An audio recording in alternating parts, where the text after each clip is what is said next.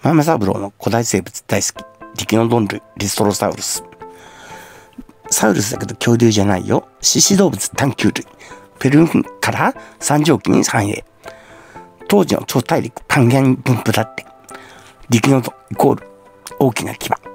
体長約1メートル。イノシシぐらいだってさ。山口県美祢市で上顎の骨発見。日本国内初だそうです。